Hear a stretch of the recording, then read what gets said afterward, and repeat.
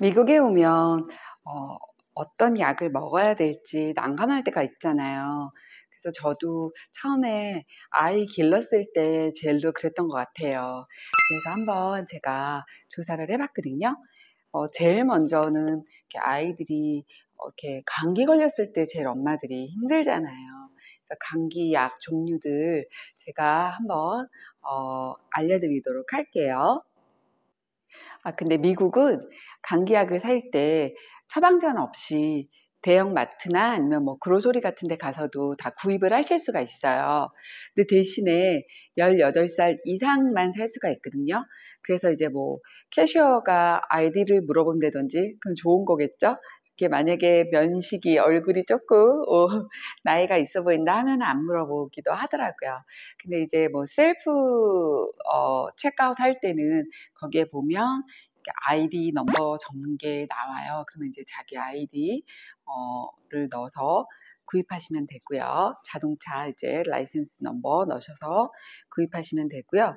보면은 대부분 이제 음 제일 어 아이들이 아플 때는 열 있으면 학교 못 가잖아요. 그러듯이 이제 열 열이 중요한데 열을 내릴 때에는 비쿨이라는 어 이렇게 붙이는 패치가 있어요. 그거를 이마나 아이들 아니면 저희 성인들도 이마나 너무 심하면 양쪽 볼 이런 데다가 붙여주시면 금방 열이 내리고요. 그리고 열이 보면 감기 몸살 이렇게 뭐 감기 기운이 있다든지 열을 열 막 몸에서 막 뜨거워요. 그럴 때 먹는 거는 사실 제일 일반적인 거는 데이콜하고 어, 나이콜인데 이 두 가지가 제일로 많이 어, 먹는 것 같아요.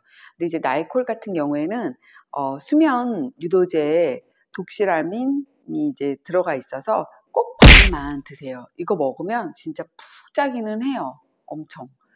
그래서 알약, 물약이 있는데 저 같은 경우에는 알약을 못 삼켜요. 그래서 물약을 어, 이용하고요. 그리고 이제 기침 감기 심할 때에는 어, 테라플루라고 있어요. 근데 이제 디페인 디라민이라고 진정 작용이 강한 성분이 들어 있대요. 제가 찍고 있는 사이에 미셸이 도착했습니다.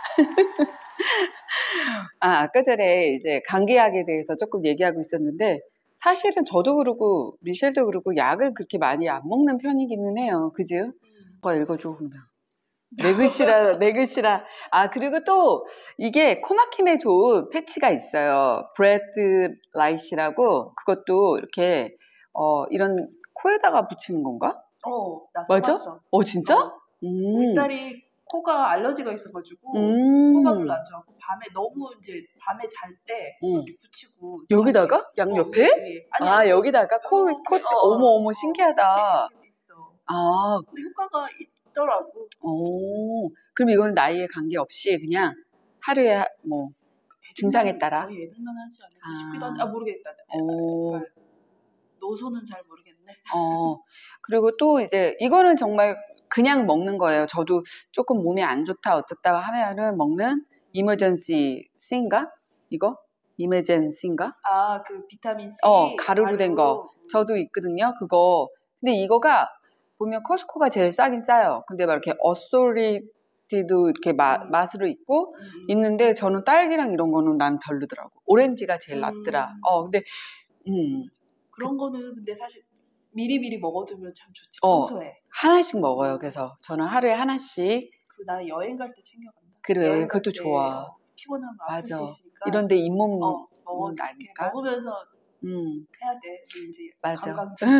근데 얘는 좀 약간 뭐라 그래야 되지 이런 물에다가 타서 먹기 때문에 약간 좀 이렇게 소다 같은 음, 환타 환타의 저, 저렴한 맛 같은 거라 타서 먹어도 되네. 어.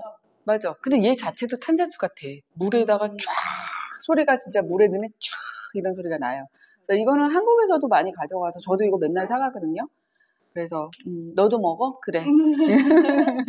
젤리 타입도 있지만 이렇게 어. 가루 타서 훨씬 한 낫지. 좋더라고. 음, 젤, 저도 옛날에 젤리로 먹었는데 젤리는 거의 슈가가 너무 많대요. 음. 음, 그래서 그것도 그렇고. 그리고 이거는 어떻게 읽나? 체스, 체스토? 기침 감기? 이게 자연 성분인데 아, 허니 그려져 있는 어. 거. 이게 2세, 2살 이상부터 먹는데 이것도 되게 좋다고 하더라고요. 음, 그- 그림으로 그것도 이렇게 나중에 음, 다 올릴 거예요. 그리고 이제 액티피트, 액티핏 이거는 엘러지하고 감기가 갑자기 어. 동시에 겹쳤을 때 먹으면 좋아요. 저희 남편이 나 이거 먹어요. 몰랐어. 어, 이거 엘러지 너 남편 엘러지 있다 그러지 않았니? 우리, 어, 어, 우리 남편도 엘러지가 심해. 딸도 있어. 그래. 그래서 엘러지랑 같이 음. 겹쳤을 때 이게 엘러지인지 어, 감기인지 나몰 때. 어. 그러니까. 그래서 저희 남편이 이거 먹어요. 감기약으로는 저거 음. 먹더라고요. 음. 어떻게 읽어야 돼? 약들 음. 너무 어려워요. 그러게 머추엑스 같아. 음. 이거는 가래 감기. 이거는 원래 가, 가래 기- 감기에 유명하잖아. 음. 음, 이거 많이 먹, 먹더라고요.